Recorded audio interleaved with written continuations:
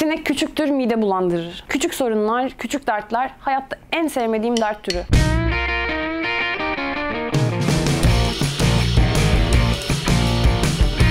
Derdin olsa kafanda ne olduğunu bilirsin de böyle ufak tefek aksilikler hem zamansız gelir hem evrenle alakalıdır. Sen pek bir çözüm bulamazsın. Öyle değil mi ama ya? Ben mi çok gerginim yoksa? Biz saçlarda da küçük problem sevmiyoruz. Dökülmeyi, ince telli, kolay kırılmayı biliyoruz da uçları kırık saça ne yapsak olmuyor öyle değil mi? Ama biz yaptık, oldu. Fönün yanlış işlemlerin, fırçaların sebep olduğu kırık uçları onarmaya geldik. Kerastas'ın kırık uç onarıcı serumu sayesinde zayıflamış saç uçlarınızı güçlendirecek, erozyona uğramış saç yapınızı yenileyecek olan ürünü karşınızda. Saç uçlarınızın kırık olması, saçlarınızın yeterli beslenememesine, boya sorunlarınızın oluşmasına neden olur. Kırık uç onarıcı serum sayesinde bu küçük problemlerden büyümeden kurtulun. Siz daha büyük sorunlarla ilgilenin, bunu bize bırakın. Allah da dert vermesin.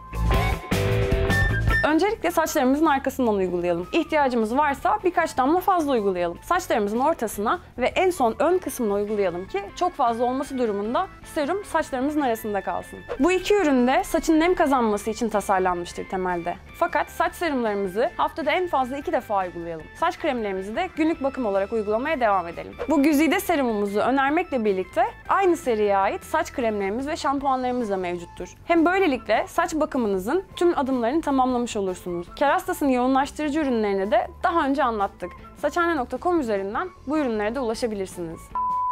Okay, let's go.